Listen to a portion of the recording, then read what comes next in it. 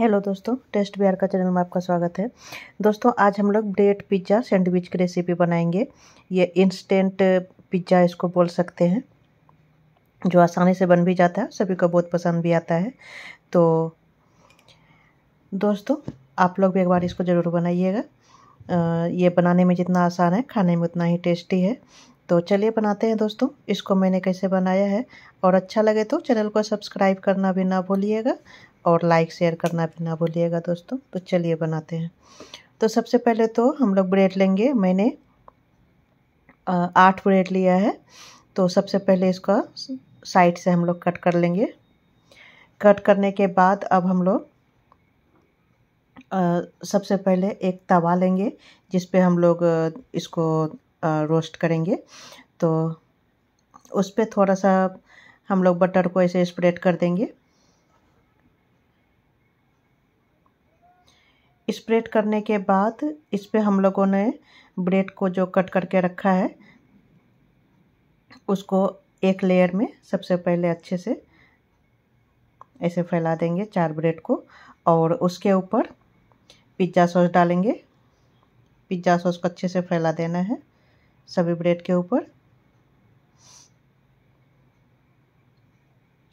अब उसके ऊपर दोस्तों हम लोग स्लाइसेस चीज़ लेंगे और उसको ब्रेड के ऊपर ऐसे रख देना है।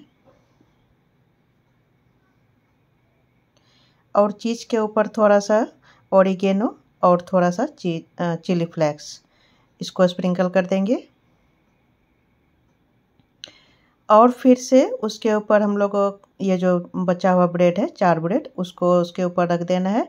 और फिर से पिज़्ज़ा सॉस को स्प्रेड कर देना है।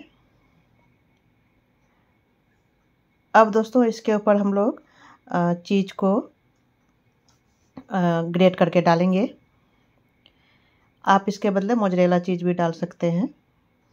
तो अच्छे से चीज़ को स्प्रेड करने के बाद आप अपने पसंद के अनुसार कम ज़्यादा कर सकते हैं चीज़ को। तो इसके ऊपर अब हम लोग कट किया हुआ थोड़ा सा प्याज टमाटर और शिमला मिर्च। इसको ऐसे पेटल्स में पेटल्स निकाल के प्याज का और टमाटर को ऐसे बीच का पार्ट ऐसे निकाल के साइड वाला पार्ट ऐसे कट करके सबको एक जैसा कट करना है और इसके ऊपर अच्छे से ऐसे फैला देना है।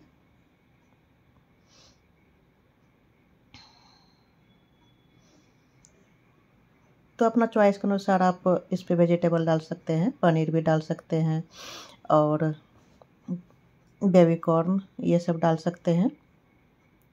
फिर से उसके ऊपर हम लोग चीज़ डाल देंगे और फिर से चिली फ्लेक्स और ओरिगेनो इसको स्प्रिंकल कर देंगे।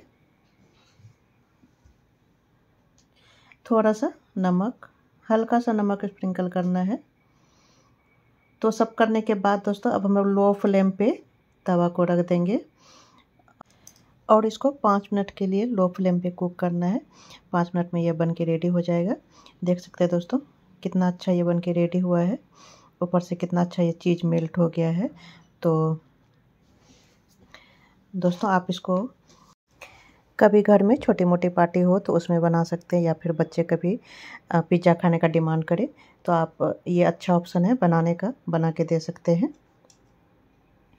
तो बनाइएगा ज़रूर दोस्तों, और अच्छा लगे तो चैनल को सब्सक्राइब करना ना भूलिएगा दोस्तों। फिर मिलते हैं अगले रेसिपी के साथ। थैंक यू लाइक शेयर करना भी ना भूलिएगा दोस्तों।